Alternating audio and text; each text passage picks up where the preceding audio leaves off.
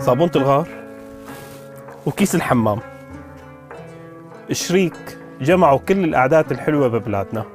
ما في قعدة حلوة بيقعدوا فيها الشباب بحمام السوق أو بتلبيسة أو شيء إلا وبيجيبوا سيرة صابونة الغار وكيس الحمام. آدم آغا من سوريا من دمشق جيت على بريطانيا بال 2013 أسست لعلامة تجارية اسمها صنع في سوريا.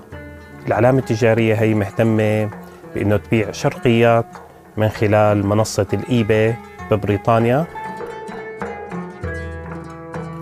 خلال زياراتي كثير للجالية السورية ببريطانيا عرفت أنه الناس اللي برات لندن كثير عم تعاني من أنه المنتجات السورية والمنتجات اللي نحن محتاجينها بمطبخنا بحياتنا بطقوسنا الدينية آه، توصل لهم.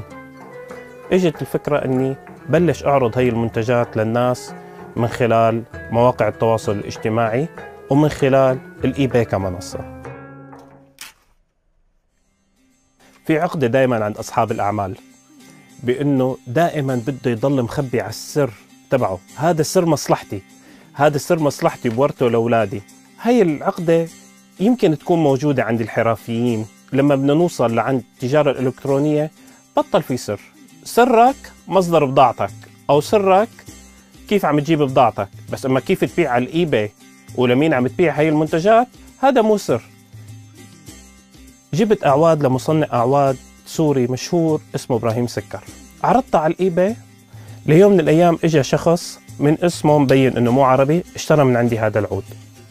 بعد ما بعثت له إياه بيومين لاقيه بعث لي رسالة ليشرح لي فيها إنه هو كان ما بيعرف يعزف على العود بس اشترى له العود ليعلقه عنده بالبيت لا يربط ذاكرته باليوم اللي زار فيها الحفلة الموسيقية بحلب.